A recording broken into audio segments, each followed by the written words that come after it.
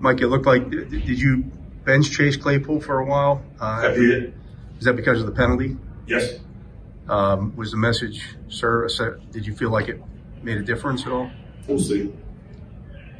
Mike, you went with uh, Schobert a little bit for Buddy Johnson in. Was that the same way, trying to get some? Uh, Man, we're not whooping, we- we're, we're not whooping enough tail, you know. Um, we're not striking enough. Um, we're not making the power fall the right direction enough. And so I'd be remiss.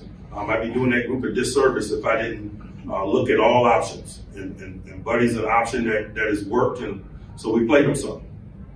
You also had Marcus Allen out there. Was that kind of what were you Same. looking to get? Same thing.